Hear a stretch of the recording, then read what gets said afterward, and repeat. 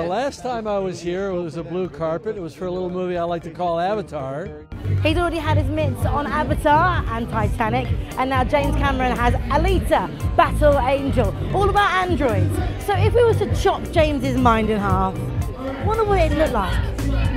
A beautiful man. Uh, I'm, it, look, I was, I was kind of, you know, because I'm notoriously skeptical. I was a little afraid, you know, of all the stories that I, and I found this beautiful mind that is so imaginative and but so approachable and so um, generous with um, with his ideas and with with what he feels and with his enthusiasm. It's contagious.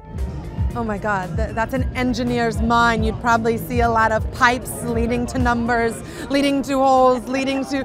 He's probably got about 17 avatars in there. Maybe that's what you'd see. like 50 other minds.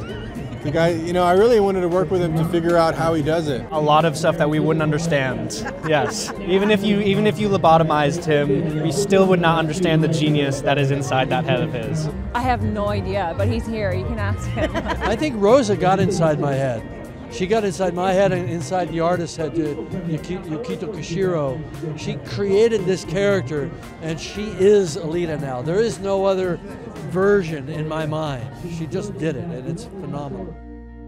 I've been stopping the score home goal.